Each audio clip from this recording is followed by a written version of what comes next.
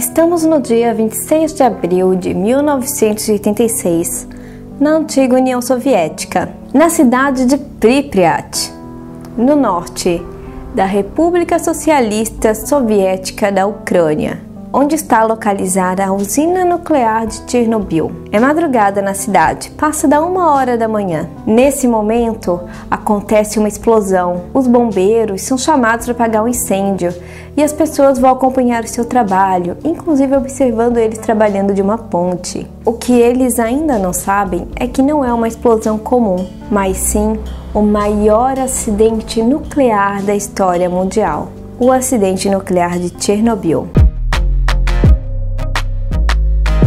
Olá, seja bem-vinda a mais um vídeo aqui no canal.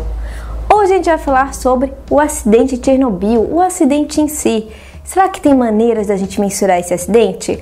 O que, que a comunidade internacional comentou sobre o acidente? Vamos conversar um pouquinho sobre isso então? No vídeo passado, a gente comentou como eram as florestas antes do acidente nuclear de Chernobyl e como elas ficaram depois. É um vídeo bem interessante, bem legal, vou deixar o card aqui para vocês verem. Acho que todo mundo aqui acompanhou a minissérie Chernobyl da HBO, que está muito, muito bem feita, vale a pena assistir. E eu acompanhei várias discussões no Twitter, no Facebook, inclusive me segue lá no Twitter, e eu vi várias pessoas comentando sobre a similaridade entre o acidente de Chernobyl e o acidente de Brumadinho. E sim, eles são similares, assim como eles são similares com outros grandes acidentes por quê? Porque eles são acidentes industriais, eles são acidentes do trabalho. Então são acidentes que realmente eles são correlacionados entre si. Inclusive, recentemente a gente tem tido várias discussões sobre esses grandes acidentes, desde poluição ambiental, impacto ambiental, o impacto à sociedade desses acidentes e a responsabilidade das empresas em relação a isso. Como a gente já viu, se você já viu meu vídeo de Bhopal, você viu que a empresa que está ligada àquele acidente até hoje assumiu a autoria. É importante a gente prevenir e controlar os riscos dos locais de trabalho, porque a gente também, além de prevenir pequenos acidentes, pequenos incidentes dentro das empresas, a gente também previne grandes desastres. Porque é dessas pequenas coisas que vêm os grandes acidentes. É claro que os grandes acidentes, eles são junções de vários problemas. Uma coisa que é notória em todos os acidentes são realmente os danos no total que eles causam. Vamos pegar aqui Brumadinho, Bhopal e Chernobyl. É, Bhopal foi um acidente químico industrial. Chernobyl foi um acidente nuclear. E Brumadinho foi um acidente envolvendo mineração. Todos eles causaram um dano humano imenso inclusive com muitas mortes. Todos eles causaram um grande impacto ambiental, impacto que vai levar anos para recuperar, se der para recuperar. Os grandes acidentes, geralmente eles têm várias causas juntas. Então, principalmente o que, que a gente tem? Falha no local de trabalho, vamos colocar aqui falha de projeto. A gente também vai ter o que? falha de manutenção, porque vezes quando o projeto está bonitinho, mas ninguém deu a manutenção necessária para aquilo. E a própria falha humana. De onde é que veio a falha humana? Por exemplo, falta de treinamento, que foi o que aconteceu em Chernobyl. Uma das causas, porque Chernobyl, como eu já comentou, teve várias causas.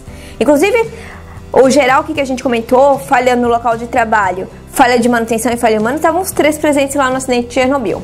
E no de Bhopal também. A primeira iniciativa mundial para se ter uma prevenção de alguma maneira desses grandes acidentes aconteceu em junho de 1982 com a diretiva de Seveso. Foi criada essa diretiva porque estava tendo muitos acidentes na Europa. O acidente de Seveso foi um acidente químico-industrial que aconteceu na Itália em 1976, 10 anos antes de Chernobyl. Nesse acidente aconteceu o rompimento de um tanque de dioxina que liberou esse produto para a atmosfera, que causou grandes danos para a Itália. Se vocês tiverem interesse, eu posso fazer um vídeo só sobre o acidente de Seveso.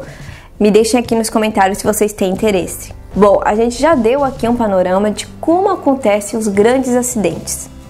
Agora a gente vai entrar especificamente em Chernobyl. A central nuclear de Chernobyl, ela começou a ser construída em 15 de agosto de 1972 e foi comissionada em 26 de setembro de 1977. Vamos ver qual é a definição da palavra comissionamento? De acordo com Confea, comissionamento é uma atividade técnica que consiste em conferir testar e avaliar o funcionamento das máquinas, equipamentos ou instalações nos seus componentes ou no conjunto, de forma a permitir ou autorizar o seu uso em condições normais de operação. Então, gente, guarda aí essa definição porque ela vai ser bem interessante ao longo desse vídeo. O reator que tinha em Chernobyl era o reator RBMK-1000, que é um reator de alta potência com tubos de pressão. A central nuclear de Chernobyl, ela possuía quatro reatores em funcionamento na época do acidente e dois em construção. Então vamos lá. O reator 4 foi o que teve a explosão, o acidente. O reator 5 e 6 eles estavam em construção e nunca foram finalizados. Mas olha que dado interessante aí no reator 1, 2 e 3. O reator 1 funcionou até 1996. O reator 2 funcionou até 1991. O reator 3 funcionou até o ano 2000. Sabe por quê? Porque a Ucrânia dependia da usina nuclear, ela dependia dessa energia e ela não tinha de onde tirar de uma hora para outra a energia de outro lugar. Por isso que a usina ela continuou em funcionamento depois do acidente. Eu achei esse dado bem interessante porque eu não sabia disso até fazer a pesquisa desse vídeo, então eu quis colocar aqui a título de curiosidade. Gente, eu não vou me aprofundar aqui sobre como é o funcionamento de uma usina nuclear. Eu vou me ater mais a algumas questões de segurança, porque eu quero entrar também sobre como que é a escala de um acidente nuclear, então eu não vou me aprofundar, até porque tem canais muito bons aqui no YouTube que já explicaram muito bem esse tema, ok? Bom, agora eu vou falar rapidamente sobre o acidente de Chernobyl. Enquanto eu falo, eu vou deixar rodando aqui algumas imagens sobre como que era a usina tá bom? Então, bora comentar um pouquinho sobre esse acidente que foi o maior acidente nuclear da história mundial. O acidente de Chernobyl ele ocorreu durante a realização de um teste elétrico que previu o desligamento do sistema de resfriamento de emergência do núcleo, cuja função é fornecer água para o resfriamento do núcleo em situações de emergência. Então assim, gente, eles iam desligar o resfriamento do núcleo, o que é um negócio que se já não for bem feito, a chance de dar errado é muito grande. O reator tinha sido desligado para manutenção de rotina no dia 25 de abril de 1986 e foi decidido aproveitar a parada para a realização do teste. Para a realização do teste, o reator deveria ser estabilizado em cerca de 1000 megawatts térmicos antes do desligamento. Entretanto, Devido a problemas de funcionamento do sistema, a potência caiu para 30 megawatts térmicos. Os operadores tentaram elevar a potência, desligando os reguladores térmicos automáticos e retirando as barras de controle manualmente. Gente, retirar as barras de controle é uma degradação enorme de segurança. Por volta da 1 hora da manhã do dia 26 de abril, o reator se estabilizou em 200 megawatts térmicos e a partir daí tornou-se muito instável o súbito aumento da produção de vapor rompeu a parte do combustível e pequenas partículas quentes do combustível reagiram com a água, causando uma explosão de vapor que destruiu o núcleo do reator. Houve uma segunda explosão, dois ou três segundos depois, aumentando a destruição do prédio do reator. Lembrando que o reator que teve esse problema foi o reator 4 da usina nuclear de Chernobyl. A Agência Internacional de Energia Atômica criou um grupo chamado de Grupo Consultivo de Segurança Nuclear Internacional, o INSAG, para poder explicar o acidente de Chernobyl. Esse grupo ele lançou dois relatórios. O INSAG 1, que foi lançado em 1986. Esse relatório ele foi lançado em agosto de 86. Veja bem, o acidente de Chernobyl ele aconteceu em abril de 86 e esse relatório já saiu poucos meses depois. E foi a primeira explicação oficial do acidente. Nesse relatório era colocada a culpa toda nos operadores na usina. Acreditava-se que o acidente tinha sido causado por falha humana. E por que, que eles achavam isso?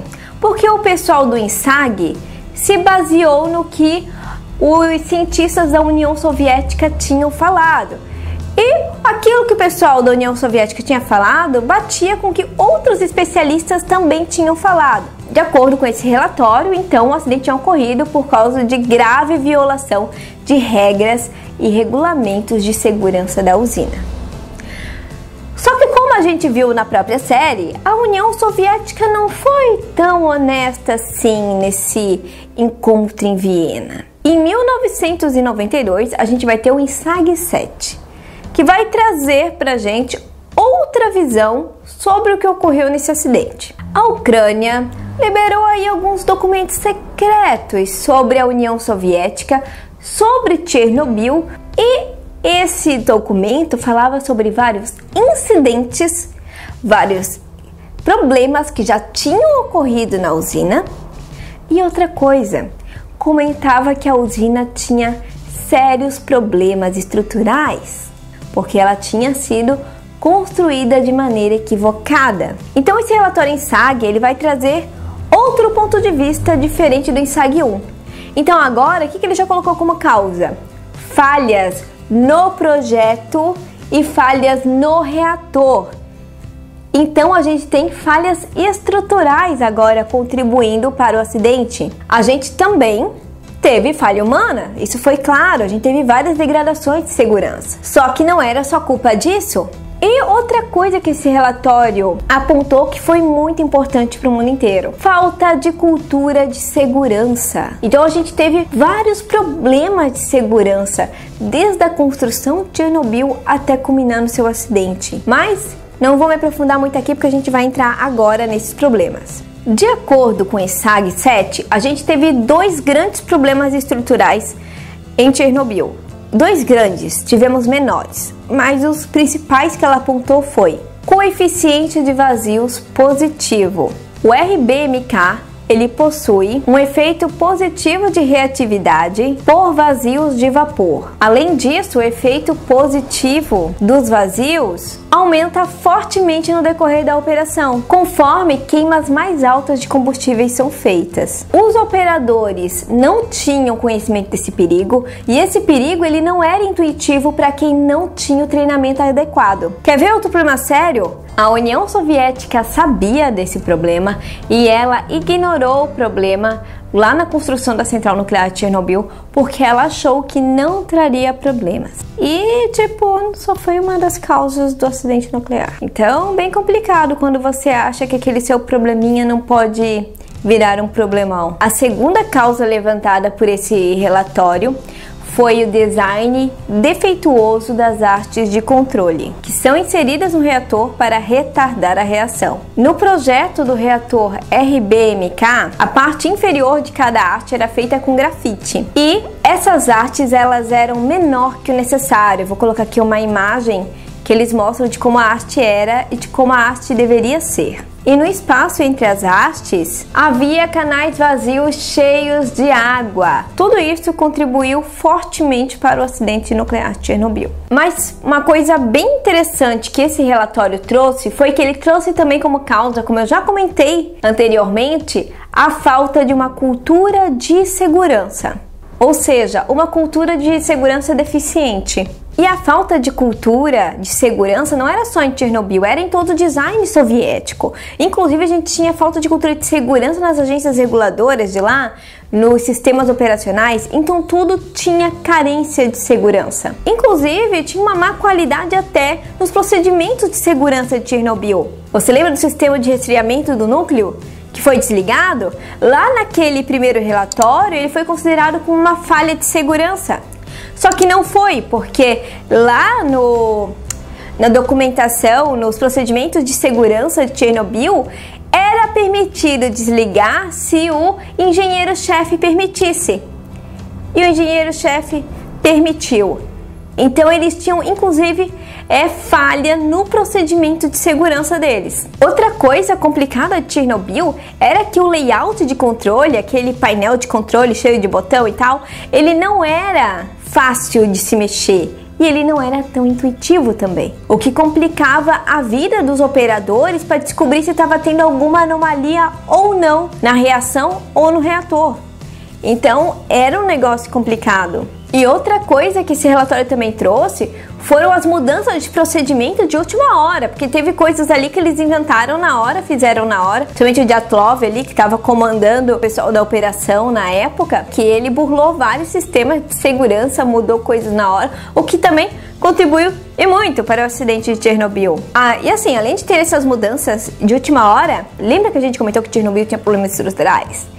Então, esse teste ele não se adequava para a estrutura que foi feita, porque ela foi feita diferentemente do planejado. Gente, vejam quantas falhas que tinha em Chernobyl. E eu trouxe só algumas falhas aqui do relatório. É, eu vou deixar a fotinha aqui do relatório para caso alguém queira ver, eu vou deixar aqui na descrição também. Ele tá em inglês, tá, gente? Mas é bem interessante. Agora eu vou trazer outros dados sobre o acidente que agora não é mais do INSAG 7, ok? Foi de outras fontes de pesquisa. Esse teste que eles estavam tentando fazer, eles já tinham tentado fazer duas vezes desde 84. Só que eles não conseguiam finalizar esse teste e alguma coisa tinha que eles não conseguiam finalizar esse teste. Tanto que mais uma vez eles foram tentar fazer esse teste e aí deu o acidente que deu. Sabe outra coisa interessante desse acidente? É que o pessoal superior não tinha treinamento de usina nuclear. O diretor, o Brukhanov, tinha experiência e treinamento em usina termoelétrica de carvão. O Nikolai Fomin também veio de uma usina convencional. O Dyatlov, que era o engenheiro-chefe do reator 3 e 4, o reator 4 foi o que explodiu, ele estava comandando o teste no dia do acidente, foi ele que forçou para que as regras de segurança fossem burladas. Ele tinha experiência em pequenos reatores nucleares. Então ninguém tinha um grande treinamento na área de usina nuclear. E isso é muito sério, porque claramente isso contribuiu para o acidente. Pessoas sem treinamento. Treinamento é essencial. As pessoas, na verdade, além de serem treinadas, têm que ser treinadas periodicamente, porque as coisas mudam, as coisas evoluem. A gente já conversou aqui sobre as falhas que levaram ao acidente de Chernobyl, mas vem cá, será que a gente tem alguma escala que a gente consegue mensurar o quão grave é um acidente nuclear? Bom, tem sim. Ela se chama Escala Internacional de Eventos Nucleares. Essa escala é um mecanismo de comunicação com o público. Essa escala ela quer que todo mundo compreenda um acidente, qual a gravidade dele. Então essa é uma escala que ela é feita para integrar jornalistas, o pessoal que trabalha na área nuclear e o público.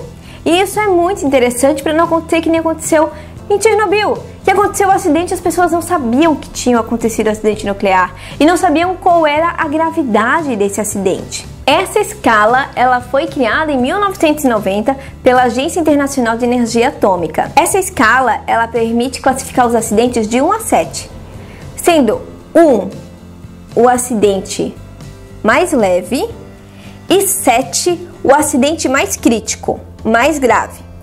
Então ela é uma escala crescente, o que também facilita a compreensão. Os níveis de 1 a 3, eles são considerados incidentes e os níveis de 4 a 7, eles são considerados acidentes. E os eventos que acontecem que não têm importância para a segurança, eles ficam abaixo da escala. Eu achei muito interessante essa escala, achei ela bem didática, bem fácil de visualizar. E só para vocês terem uma noção, então. E nós temos um acidente BR aí nessa escala, que é o acidente que aconteceu em Goiânia com o Césio 137. Ah, se vocês quiserem vídeo desse também, coloca aqui embaixo, que aí eu fico sabendo o que vocês querem ou não vídeo aqui no canal. Bom, eu vou falar a classificação dos outros acidentes, enquanto vocês ficam pensando aí em que nível que vai ficar o acidente com o Césio 137 em Goiânia, ok? Então vamos lá. Chernobyl, nível 7. Fukushima, nível 7. Three Mile Island, nível 5. E o Césio também é nível 5. É um nível bem sério. Só vocês acompanharem aí a escala. Eu quero comentar agora sobre gerenciamento de risco, que foi o que faltou em Chernobyl e que o próprio relatório em SAG 7 comentou que também faltava, que era o que? A cultura de segurança. O que, que é o gerenciamento de risco? Existem várias formas de gerenciamento de risco, existem vários métodos e análises. Eu vou comentar aqui no geral. Geralmente ele é feito por processos, não é a, a empresa inteira de uma vez só. Geralmente eles vão pegando um processo da indústria por vez. Então eles vão pegar o processo 1. E aí você vai pegar e vai detalhar cada problema que pode acontecer. Então a gente vai ter um, dois, três, sei lá, 20 problemas que podem ocorrer desse processo. Sejam eles problemas leves ou problemas bem graves.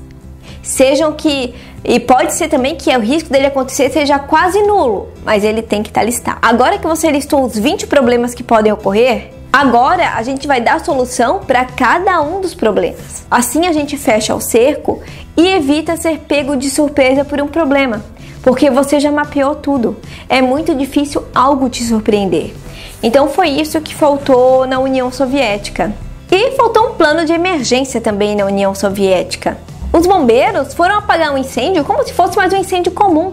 Eles não tinham ideia que tinha ocorrido uma explosão que envolvia elementos radioativos. Os hospitais não estavam preparados para lidar com aquele tipo de situação. A população não sabia que era uma explosão que envolvia elementos radioativos. Foi assistir de perto. A maioria das pessoas também morreu que foi assistir. Então, é muito complicado não tinha um plano de evacuação. Eles evacuaram as pessoas da cidade 36 horas depois. Perdeu-se muito tempo. Não tinha um plano, as pessoas saíram às pressas, elas não sabiam que elas tinham que se preparar para aquilo. Faltou um treinamento a comunidade, para a comunidade saber os perigos de uma usina nuclear e saber o que fazer em caso de emergência. Outra coisa que faltou foi saber qual era o raio que ia atingir um acidente daquele. Porque foi parar em outros países, contaminou florestas, contaminou animais, contaminou a água. Será que eles tinham uma noção de qual, qual era a área que iria ser atingida por um acidente? E veio o problema também de ser um, um governo complicado, a União Soviética. Porque quando aconteceu o acidente, eles abafaram. E aí a Suécia começou a falar: Oi, União Soviética, tá tendo um negócio bem estranho aí no seu céu que tá vindo aqui pra minha área. E a União Soviética ficou: Não, não é que não. Cuida do seu país que eu cuido do meu. E, na verdade, tinha acontecido uma explosão nuclear que a radiação estava chegando a outros países. Então é muito complicado isso. Mas, pelo menos, é, serviu de lição. Pelo menos isso, porque surgiu várias normas de segurança, várias convenções, vários acordos por causa de Chernobyl. Vamos conversar um pouquinho sobre as vítimas de Chernobyl. A gente comentou muito sobre o acidente, mas sobre as vítimas é importante comentar também. Foram declaradas 31 mortes diretas relacionadas a Chernobyl. E 116 mil pessoas foram evacuadas da zona mais atingida pela radiação. E 350 mil pessoas foram evacuadas das áreas que não foram tão gravemente atingidas pela radiação, mas que foram atingidas. De acordo com Greenpeace, deve passar de 200 mil as mortes relacionadas com Chernobyl. Bom, eu não poderia deixar de comentar que o Brasil também tem uma central nuclear. Ela se chama Central Nuclear Almirante Álvaro Alberto, posto por três usinas nuclear, a terceira está em construção, e essa central nuclear ela fica na cidade de Angra dos Reis, no Rio de Janeiro. E o reator que ela usa é do tipo PWR, que é diferente do RBMK que era usado lá em Chernobyl. Na verdade, esse RBMK era só usado na União Soviética mesmo. Será que a gente pode ter outros acidentes que nem Chernobyl? Será que a gente pode ter outros acidentes nucleares? Gente, o risco sempre tem. Por mais que você mapeie tudo, você esteja preparado, o risco ele sempre existe. A gente teve outros acidentes grandes depois de Chernobyl, como foi o de Fukushima, no Japão, que teve o terremoto. Então, sim, o risco ele sempre existe. Mas o problema está na verdade porque se tem conhecimento que existem usinas nucleares ilegais e usinas nucleares irregulares. E para mim o problema é realmente esse. Então é, é complicado porque isso envolve países que alguns até estão lá da, dentro da Agência Internacional de Energia Atômica, outros não. Alguns já falaram que vão se regularizar, outros não deram sinal de vida. Então, para mim, essa é a parte mais complicada aí da parte de energia nuclear. E é importante a gente ressaltar que tem países que são extremamente dependentes desse tipo de energia que ele não consegue tirar de outro recurso tão facilmente. Só para vocês terem uma ideia, eu vou colocar aqui um ranking dos cinco países que mais utilizam energia nuclear. Em primeiro lugar está a França. 77,7% da energia que ela usa é de origem nuclear. Em segundo lugar, a gente tem a Bélgica, que 54% da sua energia é nuclear. E a Bélgica está com problema, porque os reatores nucleares dela são antigos e estão apresentando problemas. Em terceiro lugar, a gente tem a Eslováquia, também com 54% da sua energia vinda de usina nuclear. E em quarto lugar, tem um país bem interessante aí que a gente comentou sobre ele o vídeo inteiro hoje, que é quem? Ucrânia. Ucrânia, onde aconteceu o acidente de Chernobyl. 47,2% da energia que a Ucrânia usa vem de usina nuclear. Então veja como é complicada essa parte de energia para a Ucrânia. Por isso que eles não desligaram usinas nucleares quando deu o problema de Chernobyl. E em quinto lugar, a gente tem a Hungria com 43,2% da energia oriunda de usina nuclear. Bom, esse assunto vai longe, mas eu vou ficar por aqui. Então, era isso que eu tinha para hoje. Eu espero que esse vídeo tenha feito alguma diferença para você.